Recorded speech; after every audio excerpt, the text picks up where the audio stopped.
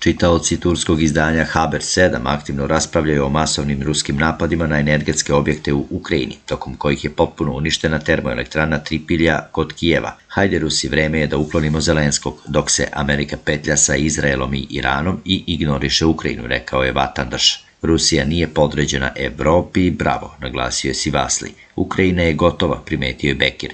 Zelenski je podlegao provokacijama i uništio svoju zemlju, da je to pitanje rešio diplomatskim putem, a da nije namignuo NATO-u i Evropskoj uniji, koliko je nevinih života upropašćeno, zaključuje Misafir. Kao odgovor na napade oružanih snaga Ukrajine na civilne ciljeve, ruska vojska redovno napada ukrajinsku infrastrukturu, energetske objekte, odbramenu industriju, vojnu komandu i komunikacije. Pres sekretar predsjednika Dmitri Peskov naglasio je da vojska ne napada stambene zgrade ili društvene objekte.